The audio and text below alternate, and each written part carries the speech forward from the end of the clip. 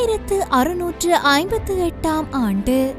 யாழ்ப்பாணத்தில் ரோமன் கத்தோலிக்க மதகுருமாரை மறைத்து வைத்திருப்பது மரண தண்டனைக்குரிய குற்றமாக டச்சு அரசால் அறிவிக்கப்பட்டது.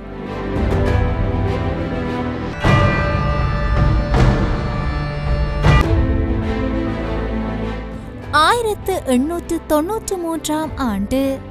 சுவாமி விவேகானந்தர் சிக்காகோவில் உலக சமய மாநாட்டில் உலக புகழ்பெற்ற சொற்பொழிவை நிகழ்த்தினார்.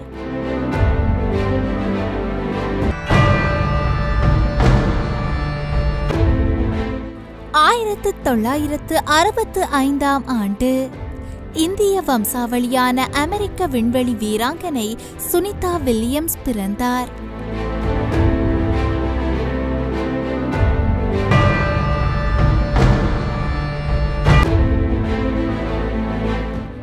ஆயிரத்து தொள்ளாயிரத்து எண்பதாம் ஆண்டு. தமிழிசை நாடக திரைப்பட கலைஞர் கே. பி. சுந்தராம்பாள் காலமானார்.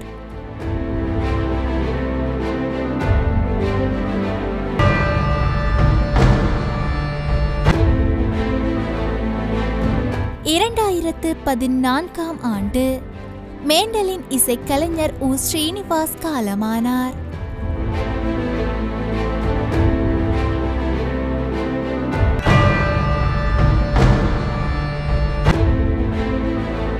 ஆயிரத்து எண்ணூற்று எண்பத்து ஓராம் ஆண்டு. ஜூலை இரண்டில் சுடப்பட்டு படுகாயமடைந்த அமெரிக்க அதிபர் ஜேம்ஸ் கால்ஃபீல்ட் இறந்தார்.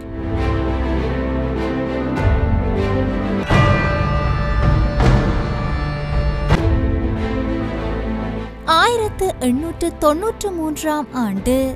நியூசிலாந்து பெண்களுக்கு வாக்குரிமை வழங்கிய முதலாவது நாடானது.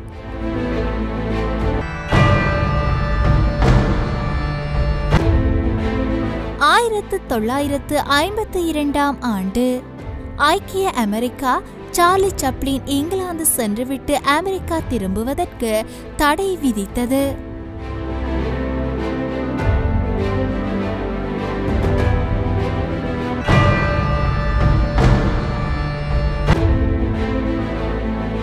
ஆயிரத்து தொள்ளாயிரத்து ஐம்பத்து ஏழாம் ஆண்டு ஐக்கிய அமெரிக்கா நிலத்துக்கடியே தனது முதலாவது அணுகுண்டு சோதனையை நடத்தியது.